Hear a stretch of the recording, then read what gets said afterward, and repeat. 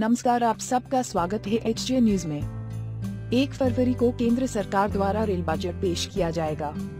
भारतीय रेलवे अपने आप में एक अलग दुनिया है। यात्रियों को यहाँ अच्छे बुरे हर तरह के अनुभव मिलते हैं। आज हम भारत के कुछ ऐसे स्टेशन के बारे में बताने जा रहे हैं, जो वहाँ होने भीड़ के लिए नहीं बल्कि डरावने किस्सों के कारण जाने जाते हैं। ऐसा कहा जाता है कि रेलवे से जुड़े इन स्थानों पर बुरी आत्माएँ बसती हैं। वे प्लेटफॉर्म पर घूमती हैं और ट्रेनों में यात्रा भी करती हैं। खंडवा के पास पाताल पानी की घाटियों में अंग्रेज़ों में लड़ने वाले टिमटिया भील का शव फेंका गया था।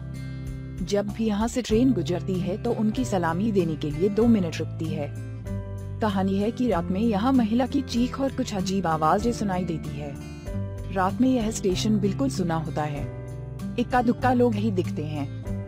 एक किलोमीटर लंबी कालका शिमला मार्ग पर स्थित पडोग रेलवे सुरंग। ब्रिटिश इंजीनियर कर्नल बर्डुग ने यहाँ आत्महत्या की थी। कहानी है कि रात में सुबह में उसके कराहने की आवाज़ आती है। बयालीस साल से स्टेशन बंद है। कहानी है कि जिसने भी सफ़ेद साड़ी में महिला को घूमते देखा, उसकी मौत हो गई रिजर्वेशन सेंटर का एक कमरा। 2004 में यहाँ काम करने वाले शख्स सुभाष की मौत हुई। कहा जाता है कि अपने काम के प्यार के कारण उसकी आत्मा यहीं रहती है। जो उस कमरे में बैठा, उसने मुसीबतें झेली। आप देख सकते हैं एच न्यूज़ की रिपोर्ट।